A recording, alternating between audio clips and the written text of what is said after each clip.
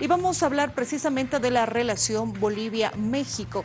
Y es que recordemos que se ha hecho una propuesta para que eh, pueda sentarse a la mesa de diálogo tras esta invitación que ha realizado las autoridades del gobierno mexicano a eh, Bolivia. La canciller eh, Karen Longarek, mediante un Twitter, por ejemplo, ha comunicado que si estaba dispuesto a que se lleve adelante este diálogo y que destacaba que se priorice las relaciones diplomáticas entre ambos países. Sin embargo, es importante señalar que el representante mexicano del gobierno de México, el vicecanciller Maximiliano Reyes, ha señalado lo siguiente, se plantea primero retirar el número de policías militares y civiles que en este momento vienen eh, eh, realizando ese asedio, decía, a instalaciones de la embajada de México en Bolivia. Condiciona este aspecto para que se pueda llevar adelante precisamente esta reunión, este diálogo.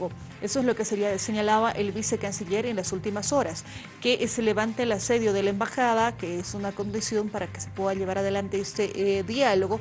Y también había señalado un representante del gobierno mexicano que eh, en las últimas horas, por ejemplo, la embajada, eh, la embajadora de eh, Bolivia en México había cancelado una cita que se tenía previsto para la mañana de este jueves pasado. Es lo que se ha señalado y es como que una condición también para llevar adelante este proceso de diálogo.